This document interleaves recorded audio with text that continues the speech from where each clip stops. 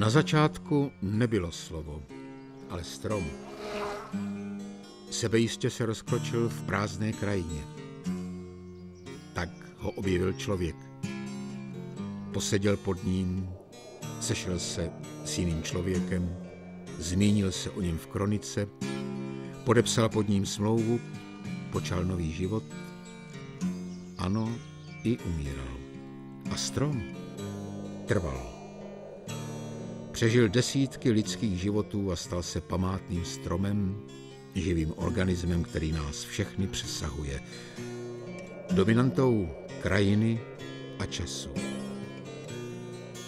Postojíme pod ním s vážností a respektem. Dotkněme se jeho kmene. Dívejme se do jeho koruny. Zamysleme se nad jeho existencí a hodnotami, které nám přináší. Být jako on, nemyslet na dějiny. Být jako on, jen vrůstat do krajiny. Prorůstat zem a do hlubin se nořit. Dát trávě stín na své nebe se stvořit se člověku dech zatají. Tam v korunách se člověk a strom potkají. Tam v korunách má člověk nebe na dosah. Tam v korunách, tam člověk ztrácí z času strach. Toto je náš nejmohutnější javor. Roste ve Věstoňovicích na Třebícku. Patří k historii tohoto kraje a k životu zdejších lidí. Chce se věřit, že jeho věkovitý kmen je skutečně sídlem moudré víly, ochránkyně zdejších lesů, která si Javor vyvolila už před staletími, protože byl nejkrásnějším stromem v širokém okolí. Stačí jeden jediný starý, jakoby zmučený strom, který je dutý a ta dutina v sobě skrývá pohádková tajemství, tajemné síly. No a naše vyprávění může začít. K historii tohoto buku Velhotách u Počtejna patří pověst o třech vílách. O tomto buku řekl hrabě Ferdinand d'Este, milovník lovu a lesa, že se mu výškou a krásou žádný jiný strom v Evropě nevyrovná. A je to opravdu mimořádný strom. Jeho větve dosahují výšky 40 metrů a obvod kmene dosahuje skoro 700 cm. Pověst vypráví, že k tomuto buku o půlnoci přibíhají tři psy a promění se v tři krásné, naříkající pany. Je to prý trest, který stihl tři dcery pána z Valečova za to, že ubližovali lidem. Nedaleko Klatov najdeme hned několik památných stromů, ke kterým se vážou strašidelné či pohádkové příběhy. A začneme tady, v takové malé vesničce s podivným jménem trošku, Lešišov. Kdysi musela být Lešišovská lípa obrovským stromem. Vždyť dnes, když má jenom část kmene, má obvod úctyhodných 645 cm. Její nesouměrná koruna ji zřejmě už před lety začala vyklánět a tak si strom vytvořil mohutné kořenové podpěry. Tyhle dutiny, tak typické u starých dubů a líp, mohly v lidech podněcovat fantazii, protože to, že strom uvnitř vyhníje, že ztratí jakoby své tělo, může lidem připadat tajemné, podivné, někdy možná i hrůzu vzbuzující. A co teprve představy o tom, co ukrývá dutina stromu, co se stane s člověkem, který do stromu vejde. Některé tyto představy se nám zachovaly do dnešních dob v literatuře. Je zvláštní, jak všechny tyto lidové pověsti se točí kolem bohatství, peněz, pokladů. A možná, že nejvzácnější poklad je právě to, že ten strom stojí. Tam v korunách se člověku dech zatají.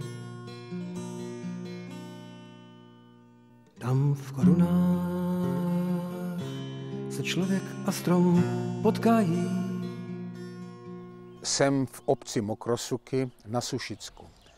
A tady přímo na kraji, dá se říct, že téměř na hřišti, stojí další památný strom, k němuž nás vážou podivná tajemství. Tento strom tu rostl už v době 30-leté války. Za ním a pod ním jsou pohřbeny oběti moru na Sušicku a mrtví švédové ze 17. století. Říká se mu už léta usvítivých hlav. Prý se tu za tmy zjevují kostlivci a z jejich lebek svítí rudé, červené oči. No já tady nebudu čekat do večera, abychom takový úkaz viděli. Máme před sebou ještě jeden památný strom v této obci. Možná, že tady kdysi nějakou lepku někdo vyoral na poli. Odtud asi ta pověst. Mokrosuky jsou připomínány už ve 14. století.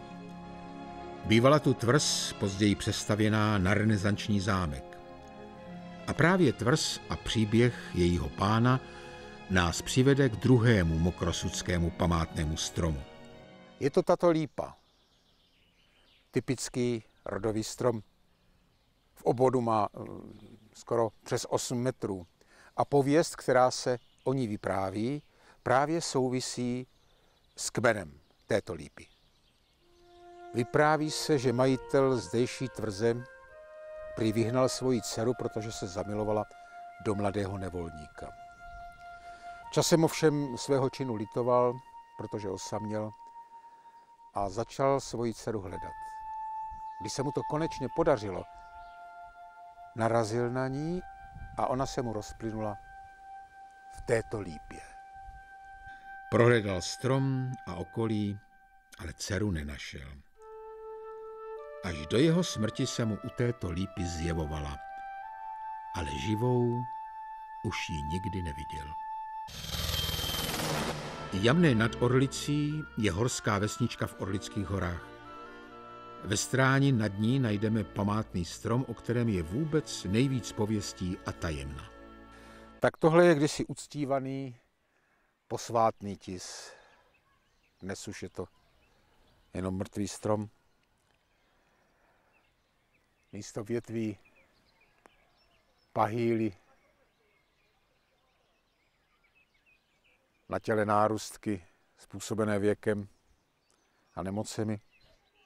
Ale přesto se k tomuto tisu váže několik pověstí. Semeno stromu přivezl jakýsi mladík z křižácké války a proto se tisu přičítala kouzelná moc. Jeho dřevo i kůra dokázali udělat člověka neviditelným. V 19. století se říkalo, že až splane veliká evropská válka, strom ochrání kraj v okruhu 12 hodin jízdy. To všechno jsou důvody, pro které lidé o strom pečovali a nedovolili, aby mu bylo ublíženo. Bylo to někdy na konci 18. století. Dvěma zlodějům nedalo spát vzácné dřevo obecního tisu a tak se v noci vypravili s pilou a sekerou strom porazit. Nedbali na to, co se o stromu povídá. Nasadili pilu a řezali. Teprve když uviděli, jak ze dřeva teče lidská krev, nechali všeho a utekli. Jednou ráno objevili lidé pod stromem nářadí a usoudili, že tady někdo něco hledal. Dokonce na stromu se objevila lidská krev, ale to byla jen míza tisu, která na vzduchu se zbarví do ruda. Ale přesto strom poklad ukrýval. Byly to mince z období Václava II. a Přemysla Otakara II. Někdo si je tam uložil v naději, že mu strom mince ochrání. A poklad se objevil skutečně až když tis zahynul. Takových stromů, jako je lípa hadí královny nad Horní Moravici, není mnoho. Kraluje nad pramenem, vysoko ve svazích jeseníků, kde si za staletí vydobila své místo. Královskou korunu nese kmen o devítimetrovém obvodu. To už je nějaká důstojnost. A to už je taky nějaká moudrost. Proč hadí? No, dobře se podívejte na její kmen. Tvoří ho takové svalovce, které přecházejí v kořenové náběhy. A když zaprší, tedy za deště, tak se lesknou jako hadi.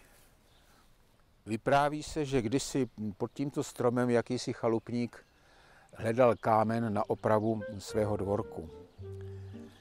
Odvalil jeden a najednou uviděl bílého hada se zlatou korunkou. Okamžitě sebral korunku a utíkal zpátky do chalupy a těšil se, co všecko eh, si za tu korunku koupí, až ji prodá. No, přišel večer a chalupník nemohl usnout. A jednou slyšel takový podivný hlas. Vrátíš, vrátíš. A za chvíli zas vrátíš, vrátíš, vrátíš. A tak to trvalo skoro až do rána. Když potom celý rozlámaný vstal, vyšel na dvůr, tak zjistil, že slepice nesnesla vejce, ale jenom z kořápky, že husy a kachny pošly z otrávené vody. Ve chlívě zahynula jediná kravka a pochopil, že je to hadí prokletí. Vzal korunku a utíkal zpět, odvalil kámen a vrátili zpátky. A mezi tím mu začala hořet chalupa a když se vrátil, byla už jenom popel a prach. Já vím, je to tvrdá a krutá pohádka. A takový krutý a tvrdý život má tato horská lípa. A přesto žije. A možná, kdybychom se podívali z její koruny do krajiny, tak bychom zjistili, že jsou ještě jiné, krásnější věci nežli majetek. Tam v korunách se člověku dech zatají. Tam v korunách se člověk a strom potkají. Tam v korunách má člověk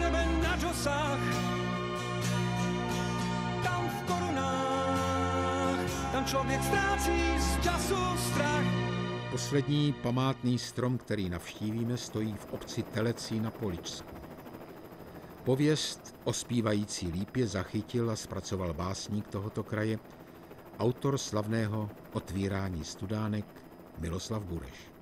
Tak to je ona slavná, známá, zpívající lípa v Telecí. Je to mohutný strom, podívejte se.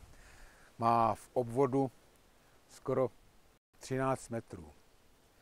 O této lípě psal Alois Jirásek, Tereza Nováková, váže se k ní mnoho legend a pověstí, nevíme, co je pravda, co není pravda, ale fakt je jeden, že toto stavení patřilo skoro 200 let slavnému rodu Lukasů. A podle nich se také tomuto stromu říká Lukasova lípa.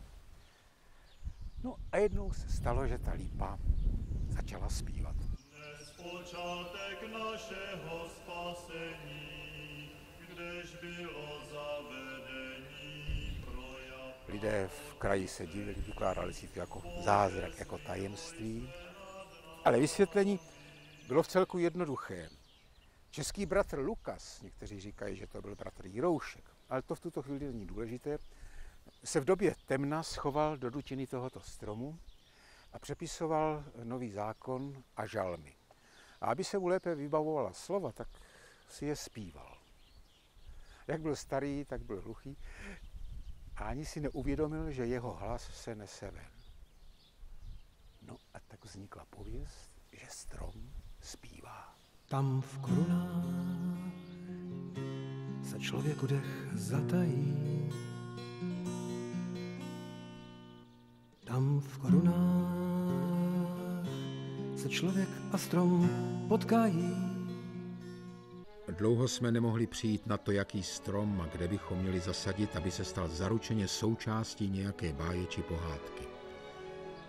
A nakonec jsme si vzpomněli, no přece hrad. Nejpohádkovější strom je smrček. Už protože se používá jako vánoční stromeček.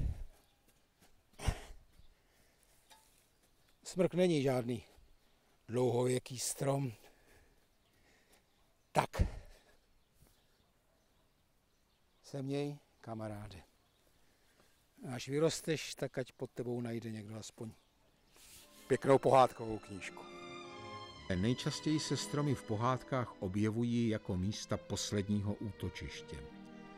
Hrdina neví kudy kam, vejde do stromu a přijme na nějakou dobu jeho podobu. Když nebezpečí pomine, vyjde ze stromu a je zase člověkem.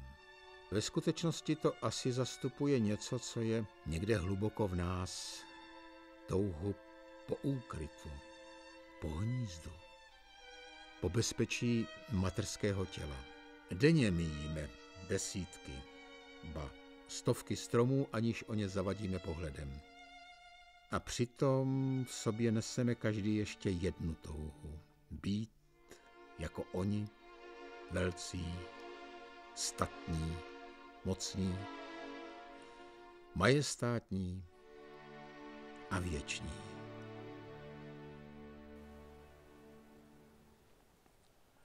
A nezapomeňte, stromy se na nás dívají. Člověk a strom, dvě bytosti, dva světy. Člověk a strom, dvě rozdílné paměti. Mohutný kmen je pevnost proti času. Obejmi jej a strom ti dá svou spásu. Tam v korunách se člověku dech zatají. Tam v korunách se člověk a strom potkají.